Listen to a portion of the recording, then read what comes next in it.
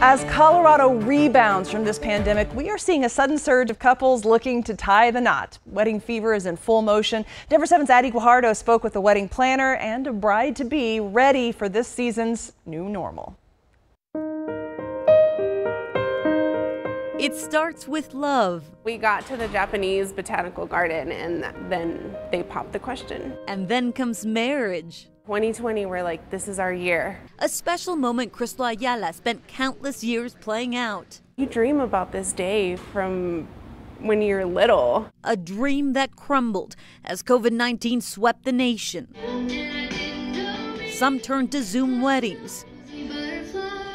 All right, one second, we practice this. But that wasn't an option for Crystal and her partner. We have a lot of older generation, so Zoom was going to be really hard. Crystal's wedding was one of 60 moved to 2021 by Amy Palfroni. The mask mandate's been lifted. Great. Yay. A wedding planner and the owner of Prisma Events. We were able to find new dates. Between rescheduled weddings and new ones pouring in, It's coming back with a fever right now. business is booming. Bananas.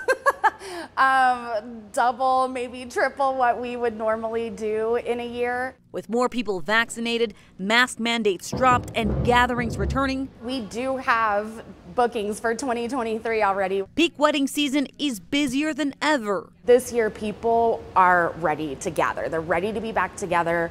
They're ready to celebrate. They're ready to have the parties. If you're planning to get married in 2021, venue consultant Maggie Glass has some advice. If you've got a special date, you should start looking right away. Wedding dates are flying, and while it's great for business, Amy says vendors and catering companies that laid off employees are struggling to ramp up staff to meet the demand. I think the guest list is perfect. Crystal helped schedule vaccines for her family members flying in from LA, New Mexico, and Texas. I get teary eyed just thinking about it. On June 11th, she'll tie the knot, surrounded by family. Just walking down the aisle and seeing their face is going to be amazing. A moment years in the making.